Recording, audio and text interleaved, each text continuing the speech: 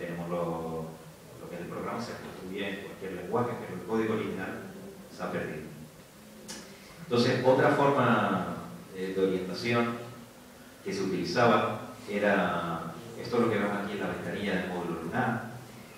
Entonces, eh, mientras el módulo lunar se acercaba a la superficie, estaba descendiendo, eh, la fase final todo era, estaba automatizado, pero en la fase final, el, esta parte de aquí, el comandante podía tomar control semi-manual. No era control manual porque el ordenador seguía controlando. Entonces, eh, cada una de estas fases estaba regida por un programa. Esto que ponemos aquí, P64, P66, cada una de esas fases del descenso hacia la Luna es un programa distinto del ordenador. Se utilizaban las marcas los cráteres para poder orientar bien el módulo lunar hacia la Luna, el tiempo de vuelo sobre, esa, eh, sobre esas marcas. Este cañón que vemos aquí, Hadley Reed, este es el lugar de aterrizaje del Apolo 15. Eh, y había que tener en cuenta la superficie de la Luna no se conocía con precisión. Nada, como dijimos al principio de la charla, cuando Kennedy dijo vamos a la Luna, no se sabía la forma que tenía la Luna, es decir, el relieve. Entonces, eh, el módulo lunar tenía un modelo unidimensional de, de, de la trayectoria de descenso, del relieve, pero con muchísimos errores. Por eso utilizaba un radar, que lo vemos aquí, para poder determinar la altura y velocidad. Sin ese radar, el módulo lunar se, se hubiese estrellado porque no se conocía bien eh, las características de la Luna. Hoy en día se conocen muchísimo mejor. Esto vemos aquí el radar del Apolo, el módulo lunar. Bien, esto que vemos aquí es la ventanilla de la, del módulo lunar y estas marcas que tenemos, un sistema muy ingenioso de cómo orientar la nave. Eh, por ejemplo, el ordenador le decía, eh, al, ponía un número, imaginemos 35, entonces el comandante solo tenía que mirar por la ventana, miraba donde marcaba 35 y ese lugar que aparecía en la escala es donde iba a aterrizar el módulo lunar. Entonces solo tenía que mover el joystick un poquito hacia arriba o hacia abajo para cambiar el, lugar de aterrizar.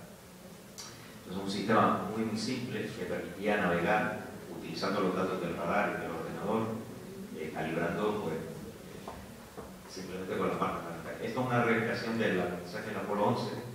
Aquí está la zona de alunizaje, esto con el Google Earth, la, la, parte de Google Moon, que se puede, cualquiera lo puede descargar y verlo. ¿no? Y así es lo que, lo que veía Armstrong justo antes de alunizar, de la escala, aquí donde le marcaba Armstrong en el último momento, vio que el ordenador le llevaba hacia una zona donde había mucho muchas rocas y decidió seguir un poquito más adelante, antes de que se acabase el combustible. También se utilizaba esta marca para orientarse con respecto a la Tierra y la Luna, se podía saber la posición. En el Apolo 13 fue el método que se utilizó para poder orientar el vehículo después de que eh, tuviese que apagar el ordenador del módulo de mando. Y bueno, esta gráfica no es nada de, de relativo a la orientación, sino simplemente el factor humano, hemos dicho que es el, ritmo cardíaco de Armstrong durante el aterrizaje. Entonces, fíjense aquí, el aterrizaje justo el máximo, ¿no? 250. Luego ya se cambia. Eh, todos estos sistemas de navegación permitieron hacer cosas eh, bastante interesantes en el Apolo, por ejemplo, esta es la versión Apolo 12, que aterrizó al lado de una sonda, la Surveyor 3, que había aterrizado años antes. Un aterrizaje de precisión, gracias a todos los eh, sistemas y los métodos que hemos comentado antes. Bien, eh, por último, eh, había que tener en cuenta en la fase final de reentrada, en la fase final de reentrada, la nave ya no tenía el módulo de servicio, era solo la cápsula, entonces la reentrada, cada uno de estos P, 61 etcétera, son programas que utilizaba la nave mientras estaba reentrando. Al estar reentrando en la atmósfera, el Apolo primero hacía una primera inversión en la atmósfera, frenaba su velocidad por debajo de los 11 km por segundo y luego volvía a salir un poquito fuera de la atmósfera y volvía a caer a 8 km por segundo en una reentrada normal antes de amenizar en el Pacífico. Y para poder saber que la orientación era la correcta, se utilizaba la misma técnica que en el módulo lunar, pero con la ventana del módulo de, de mano. ¿no? Entonces, según, por ejemplo, en este caso, el Apolo 13 según la posición de la Luna con respecto al campo, a la ventana, pues se podía saber la orientación del vehículo. Bien, esto que tenemos aquí eh, es una imagen actual del lugar de aterrizaje del Apolo 17 y nos recuerda que las misiones Apolo eh, evidentemente fueron verdaderas porque por algún extraño motivo todavía hay mucha gente lo duda. Y digo extraño motivo porque cualquiera puede eh, encontrar toda la documentación y todos los datos en, Internet. Pocas misiones, pocos eh, programas donde haya tanta información en Internet. Prácticamente si uno tuviese unos cuantos miles y miles de millones de dólares se podía construir la nave en su casa porque están todos los planos, todos los datos. Eso es el lugar de alunizaje del Apolo 17 y bueno, ahí es donde estaba la bandera del Apolo 17. Esto está tomado por una sonda que actualmente está en órbita lunar, que es la sonda LRO. Y eso fue el lugar, esta imagen que tenemos aquí, esto fue en el 72, es así, una imagen en 1972, es Harrison Smith, el único científico que pisó la Luna, y junto con Cernan, los últimos hombres que pisaron la Luna. Eso fue en 1972, desde, desde entonces nadie ha vuelto a ir a la Luna, Ahí tenemos, en esa foto se suele decir que están todos los que crearon el Apolo, el programa Apolo, los que constituyeron el programa Apolo, menos dos personas. El hizo la foto, el comandante, y el otro miembro de la tripulación, Evans, que estaba en órbita. Y bueno, eh, simplemente terminamos con esto y espero que este, el tema de cómo viajar a la Luna o cómo vivo el Apolo a la Luna les haya quedado un poquito más claro y, si alguien tiene más curiosidad, pues les invito a que profundicen eh, en Internet, ¿no? está toda la documentación. Muchas gracias.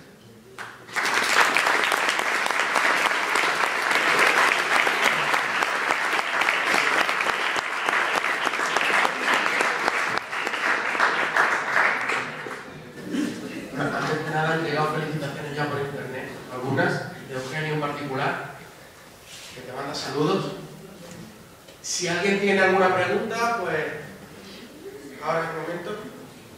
El mismo Eugenio ha preguntado por Twitter, dice que hay un, un, amante de la conspiración que dice que es imposible haber llegado a la Luna porque el ordenador era demasiado poco potente como para calcular todas las cosas y hacer todo eso. Entonces, te reta a que expliques en un minuto por qué el ordenador era bastante potente para haber llegado a la Luna. Eso es de Eugenio.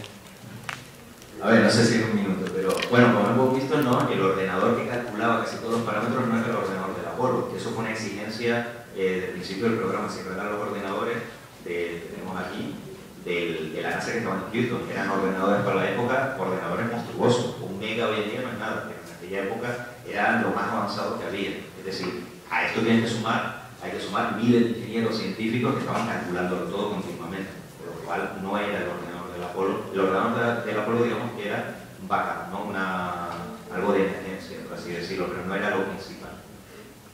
No sé si la convencerá. Creo que no. ¿Más preguntas? Yo tengo una duda y a ver si me contesta. Eh, ¿Por qué las imágenes que se ven de, de la Tierra, ¿no? o así un poco eh, del universo se ve solo un fondo negro y no se ve estrellas.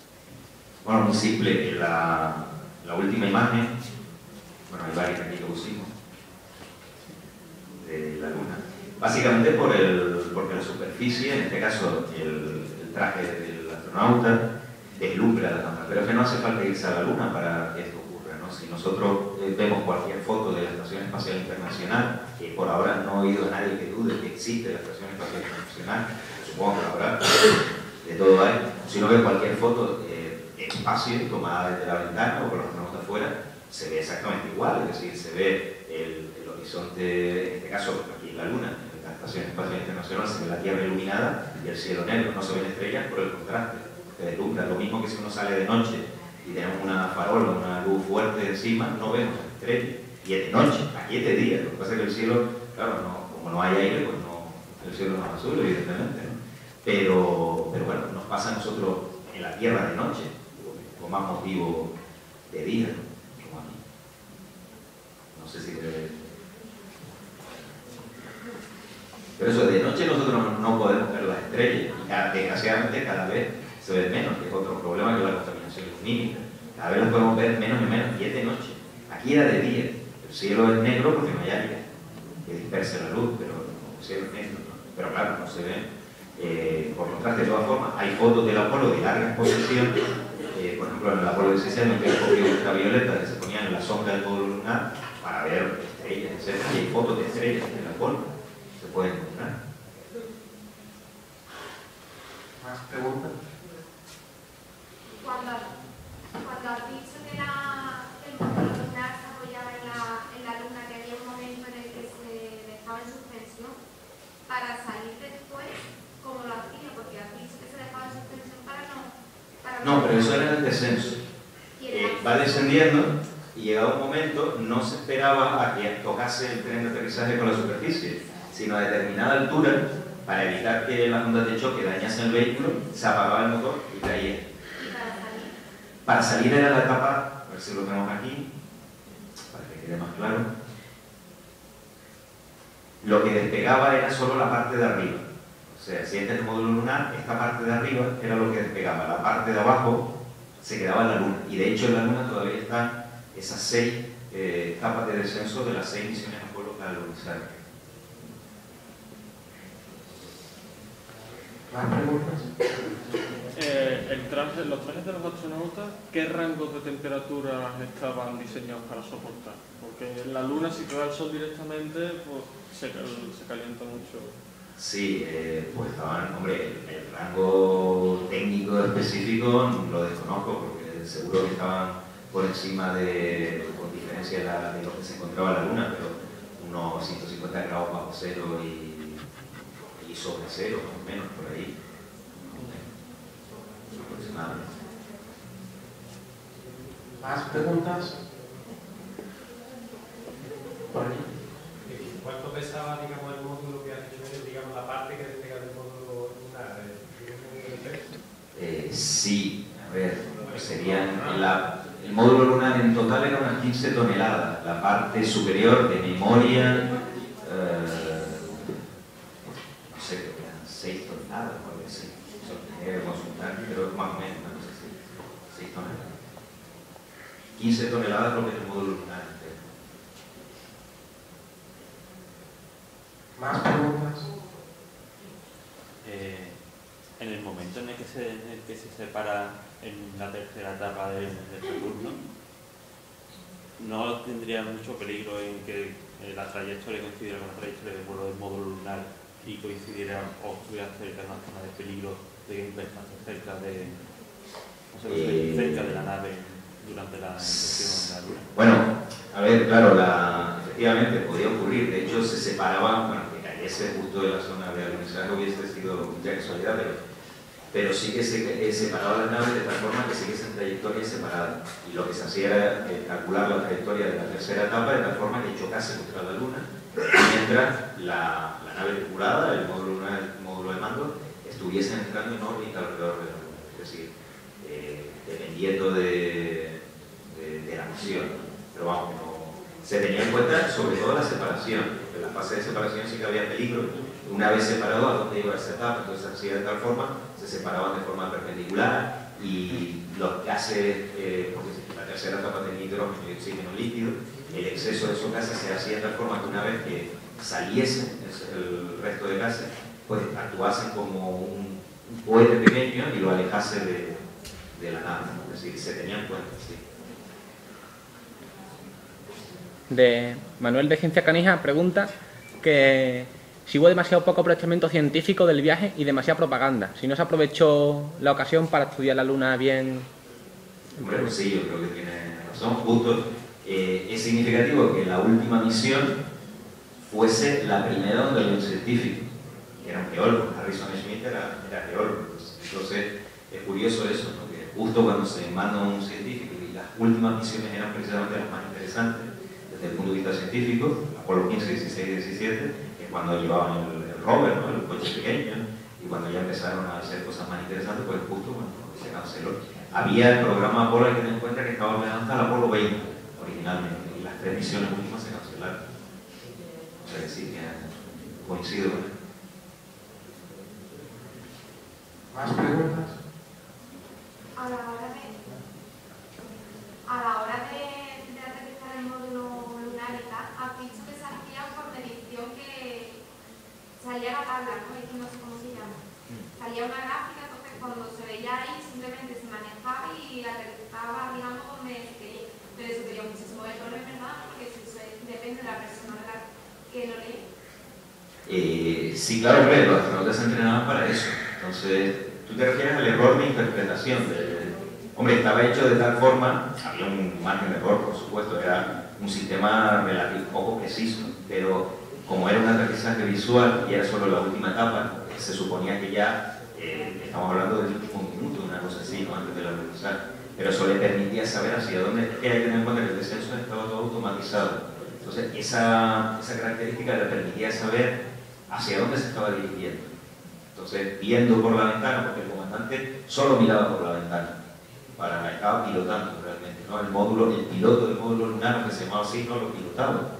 Era el que estaba, le decía eh, las cifras de velocidad, altura y combustible al comandante. Entonces, pues más o menos visualmente se orientaba. De todas formas, si alguna vez volvemos a la luna, que espero que volvamos, eh, yo creo que nadie duda que el aterrizaje sería totalmente automático, no se confiaría en, un ser humano para, para eso, porque evidentemente hay de errores. Cuando él, a la hora de despegar el, módulo lunar de la luna para que se acople a la nave y puedan volver, en ese espacio que despega, que, no, que hemos dicho que no despega todo, que solo despega la parte de arriba. Ahí se tienen que alojar los dos astronautas que habían bajado, ¿verdad?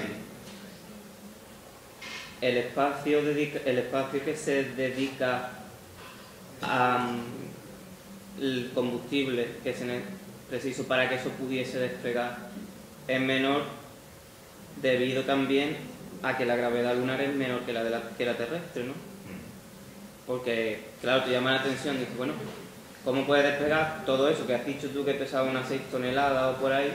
Pero unas 6 toneladas teniendo en cuenta la gravedad de nuestro planeta, necesitaría, hubiera necesitado, si hubiera tenido que despegar desde la Tierra. Hubiese necesitado un enorme. Claro, la Luna, la gravedad es un sexto. Además, cuando uno dice un cohete, lo primero que sabe es la cociente del cohete, la cociente de Tsiolkovsky que te dice que la masa de un cohete aumenta de forma exponencial a medida que tú le, digamos, la masa final aumenta de forma exponencial en función de la masa útil. Es decir, que si tú doblas la masa que quieres poner en órbita, no terminas teniendo un cohete el doble de grande, sino 4, 5, 6 veces más grande. Entonces, en el caso de la Tierra, la gravedad es 6 veces más grande y además cada atmósfera también eh, pues, eh, frena, ¿no? Y eso hace que el cohete, para poner 6 toneladas en órbita, con un cohete Soyuz, que tiene una capacidad para poner 7 toneladas en órbita, es inmenso no, claro, lo que se aprovechaban era de la baja gravedad. Los efectos de la relatividad que tuvieron en cuenta en los cálculos de navegación, sincronización y tal. Eh, que yo sepa, no. Que yo sepa, no. De todas formas, el es un mundo. Ahora, para los cálculos orbitales, hemos visto que son dos aproximaciones. Eh, mecánica celeste kepleriana bastante simples. Es verdad que luego por detrás los cálculos teóricos eran muy complejos y se intentaba tener en cuenta todo, pero los cálculos de las trayectorias utilizando los, datos eran, eran relativamente simples. Que yo sepa no se tuvo en cuenta la relatividad, de todas formas, las velocidades implicadas por los campos gravitatorios pues, no, no hacían falta. Hoy en día, pues claro, si en el sistema GPS se tiene en cuenta la relatividad, ¿no? Entonces, hoy en día, con la precisión que tienen los sistemas hoy en día, pues sí se tiene en cuenta. Otra pregunta, dicen que ¿cuánta diferencia había más o menos entre el primer ordenador que mandó el primer Apolo y el último? Pues buena pregunta. Eh, básicamente creo que eran muy muy similares. No te puedo garantizar que fueran los mismos, pero eran prácticamente idénticos. Efectos prácticos eran iguales. Lo que sí tenían era eh, más flexibilidad a la hora de, de cada programa, cada rutina, pues eh, digamos que tenían más flexibilidad por el tema del Apolo 13 para poder permitir eh, emergencia y tenían más programas, porque en el primer, el Apolo 8 que dio vueltas alrededor de la Luna pero no se posó, por ejemplo solo había tres sistemas de referencia y había pocos programas. En el Apolo 17 había eso, más de 44 programas de sistemas de referencia. básicamente los programas, y como esto lo tenían que coser las señoras de que vimos, pues era más complicado. Para, los programas que hacía, imágenes que hacía la administración, esos son programas individuales Sí, sí, eso es lo que... Eso se, se instalaba en el, En el ordenador. Según se requisiera un programa u otro, se, se metía dentro. Sí, eh, la parte de atrás del ordenador es donde se ponían los módulos de memoria. Pero cuando podían caber, porque está habiendo un momento en que se necesitaban un montón de programas. Sí, cada módulo depende, claro, porque no todos tenían la misma complejidad. Es decir, lo que hay que tener en cuenta es que eso, el cosido es el, el código binario. Es decir, cada uno de los anillos de ferromagnéticos pues era un bit, según cómo se tuviese la corriente, en un 0 o un 1. Entonces, el programa había que estaba basado en binario y se cosía en binario. Entonces, por eso digo que los programas en el Apolo no eran algo abstracto, sino era algo físico. Porque realmente cada anillo era un bit. O sea, cuando decimos que es físico, que no es solo el soporte físico del programa, sino que el software en sí era hardware, era físico. Y pues, claro, cada programa era distinto. Entonces, a lo mejor en un módulo podía haber varios programas y en otros menos. Pero eso que tenía que estar ahí el, el astronauta prácticamente ahí intercambiando.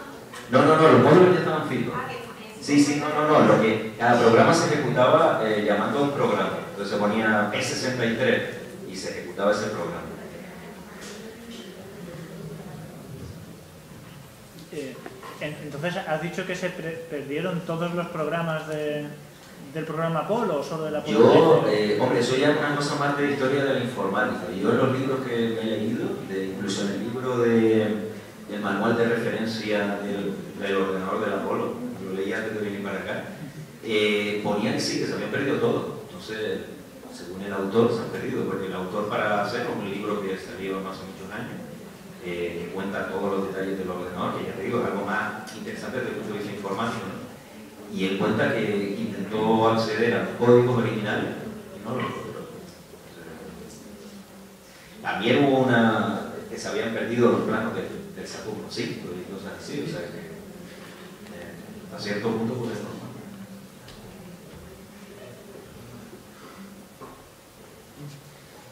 Hasta llegar al, al, al hubo muchas misiones, no solo las del Apolo, sino las Gemini y Mercury. Has contado aquí muchas técnicas, pero todas se fueron ensa- ensayando y desarrollando en diferentes misiones, en diferentes saltos que se fueron dando. ¿Cuál te parece que fueron los, los saltos más importantes o los retos que hubo que ir resolviendo en cada una de esas misiones? Desde la Mercurio, las Gemini. Eh, ¿Pero te refieres de cara al Apolo o en Sí, las general? técnicas que hubo que desarrollar, de, Hombre, hubo que desarrollar, sobre todo en el Gemini, fue los acoplamientos, porque los acoplamientos el Apolo fundamentales son muy complejos. Luego son dos espaciales, cada uno con, su, eh, sus trayectorias y es complicado. Entonces Gemini sirvió sobre todo para el tema de los acoplamientos. Eh, también para el sistema de soporte vital, que fue, y el resto, bueno, también actividades extravehiculares. Y otra cosa que no se suele mencionar mucho, el segmento de tierra. Todo esto que hemos visto en los ordenadores, de estaciones de telemetría, que en España había, en Madrid y en, y Canaria, había estaciones de seguimiento del Apolo. Y el sector de tierra, pues antes de las misiones Mercury y Gemini, fueron fundamentales para desarrollar este sector, eh, lo que permite la comunicación continua con las naves eh, y el cálculo de la trayectoria. Como vimos, ¿no? viendo el efecto Doppler y el retraso de la señal, podemos saber dónde está la nave y a qué velocidad. ¿no? Yo creo que eso es lo principal. No sé si te refieres a eso.